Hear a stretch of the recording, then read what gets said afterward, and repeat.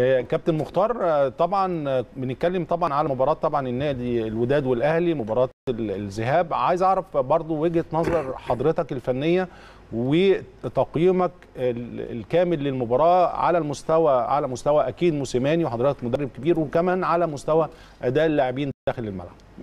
أكيد يعني أكيد إن هم يعني المدرب واللعيبة أبدعوا في هذه المباراة من أولها لاخرها بنمتلك كل شيء فيها سواء من الأداء سواء من المكسب سواء من كل حاجة. يعني كان فيها امتلاك هائل جدا جدا لكل مقدرات اللعب سواء زي ما بقول من الأهداف أو من الأداء. وده طبعا أكيد أكيد ده شغل مدرب. وكمان صراحة اللعيبة يعني تفوقت على نفسها بشكل كبير جدا جدا.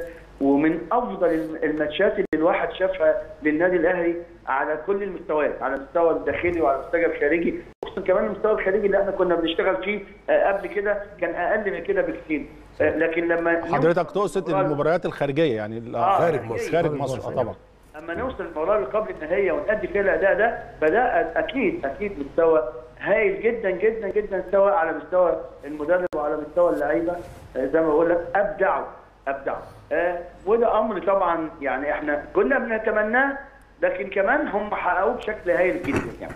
آه إن إحنا من أول دقيقة للمباراة لغاية ما المباراة تخلص تبقى ممتلك كل مقدرات اللعب بهذا الشكل.